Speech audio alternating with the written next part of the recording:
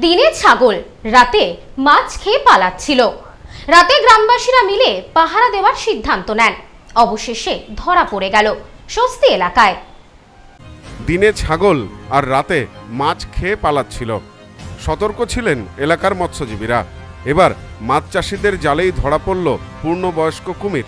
বসিরহাট মহকুমার মিনাখা ব্লকের ভাঙাপাড়ার ঘটনা। মিনাখার বিদ্যাধরী নদীতে কুমিরটিকে আগেও দেখা গিয়েছে বলে দাবি করেছেন স্থানীয়রা। কুমিরটিকে দেখে আতঙ্কিত হয়ে পড়েন গ্রামবাসীরা।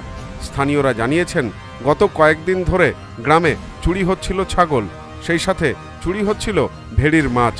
চোর ধরতে মৎস্যজীবীরা শুরু করেন রাত পাহারা। দিনের পাশাপাশি রাতের বেলাতেও মাছের ভেড়িতে পাহারার ব্যবস্থা করেছিলেন মৎস্যজীবীরা। শেষ পর্যন্ত ধরা পড়ল চোর। দেখা গেল, চোর আর কেউ নয়।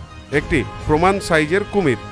বুধবার রাতে উত্তর চব্বিশ পরগনার উচিলদহ ভাঙাপাড়ায় জাল দিয়ে যাকে ধরে ফেলেন ভেড়ির শ্রমিকেরা। কুমিরটি বন দপ্তরের হাতে তুলে দেওয়া হয়েছে।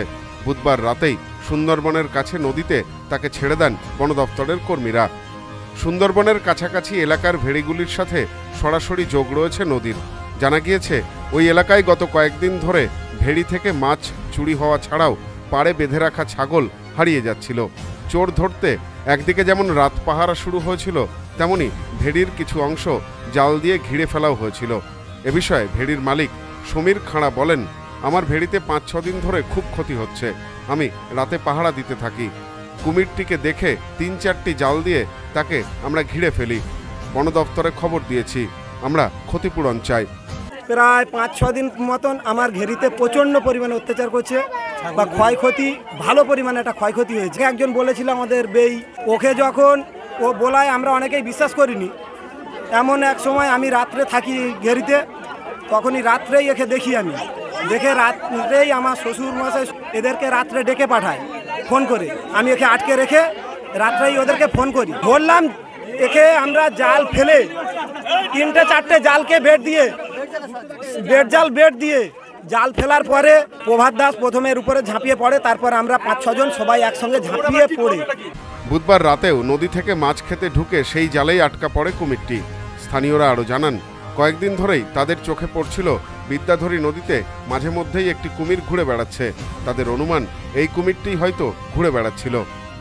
এ বিষয়ে স্থানীয় অপর এক মৎস্যজীবী বলেন, আমাদের প্রথম থেকেই সন্দেহ হচ্ছিল, কুমির হতে পারে। আজ রাতে আবার ঢুকেছিল ভেড়িতে।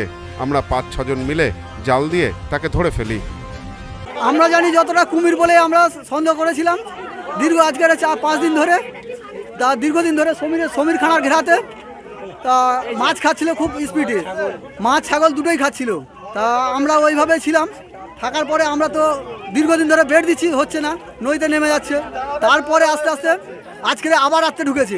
ঢোকার সাথে সাথে আমরা হচ্ছে আমরা হচ্ছে প্রায় কুড়ি পঁচিশ জন গেছিলাম। তা পঁচিশ জনের মধ্যে পাঁচজন মিলে আমরা ধরেছি। Bureau report news no man's land Minakha সবার পায়ে সবার পছন্দের উন্নত গুণমানের জুতো প্রস্তুতকারী সংস্থা সুনীতি ফুটওয়্যার ডিস্ট্রিবিউটারশিপের জন্য যোগাযোগ করুন eight six one seven double eight three four nine three office Bangaon উত্তর চব্বিশ পরগনা পশ্চিমবঙ্গ।